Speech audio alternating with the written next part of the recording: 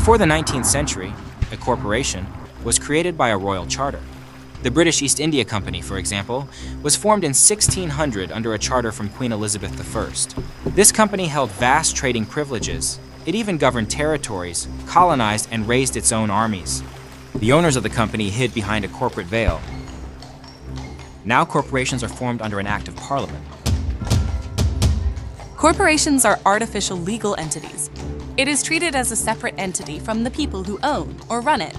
It can enter contracts, sue or be sued, own property, and crucially, it has its own liabilities, separate from the shareholders and directors who control it.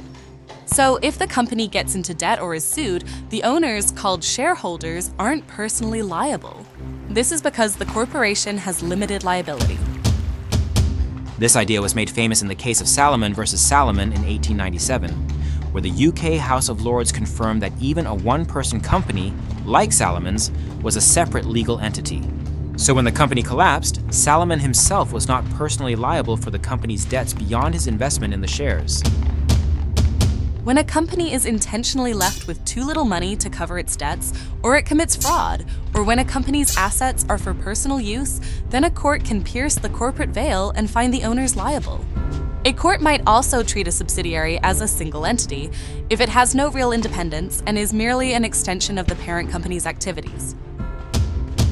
Courts don't pierce the corporate veil lightly. It is only done in extreme cases where the company is clearly being used for dishonest or improper purposes.